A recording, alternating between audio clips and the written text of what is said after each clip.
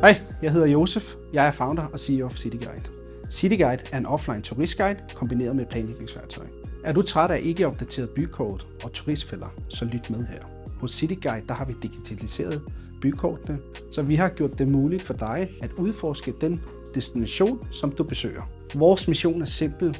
Det er at give rejsende mulighed for at udforske skjulte perler og få uforglemmelige rejseoplevelser. Med CityGuide er det let og stressfrit at planlægge din drømmerejse. Vores innovative planlægningsværktøj indsamler og kategoriserer al den information, du har brug for, så du kan tilpasse din rejse baseret på dine interesser. Hos CityGuide brænder vi efter at levere ægte rejseoplevelser, og vi leder altid efter ligesindede partnere. Så hvis du brænder for samme mission som os, så lad os sammen gøre verden et bedre sted, en rejse ad gangen.